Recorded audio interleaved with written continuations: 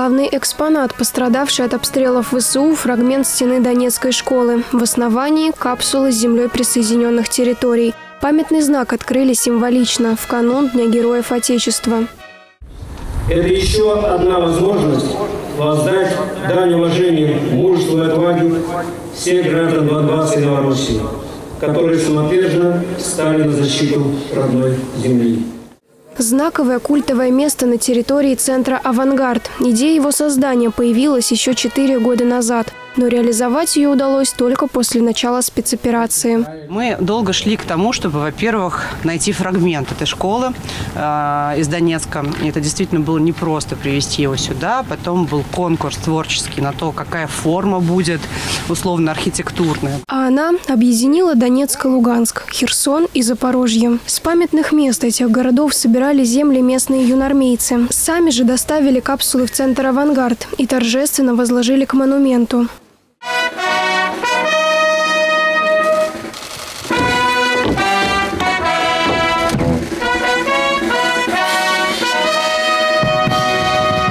Из разных городов, но с общей миссией. Екатерина из Луганска, Ольга из Донецка. Десятиклассницы сдружились в юноармейском штабе. Теперь вместе участвуют в патриотических акциях. Доставляли памятную землю в Подмосковье с особой гордостью. Эта земля очень важна для всех, для дальнейших поколений, чтобы они верили в будущее, знали наших предков, знали, что было на этой земле.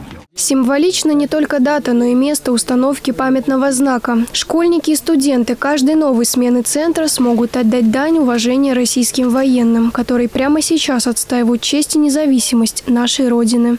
Это некая своеобразная связь и напоминание ребятам, э, учащимся школ э, и колледжей Москвы и Московской области о том, что совсем недалеко от нас да, происходят такие трагические печальные события с их ровесниками, с такими же мальчишками и девчонками, как они. Не позволить переписать историю – еще одна важная миссия памятного знака. Поэтому лучшее место для его установки, чем центр «Авангард», сложно было найти. Ведь через него проходит более 80 тысяч курсантов в год. Олеся Лукина, Станислав Трифонов, телекомпания «Одинцова».